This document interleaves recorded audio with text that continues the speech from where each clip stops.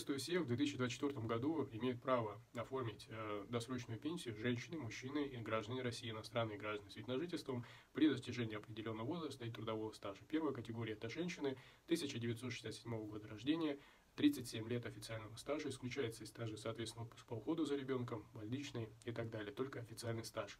И, соответственно, возраст 57 лет. Оформляем пенсию, соответственно, по месту проживания, по месту пребывания. А вторая категория – это мужчины, возраст 61 год, а, соответственно, официальный стаж 42 года. В данном случае необходимо стаж подтвердить.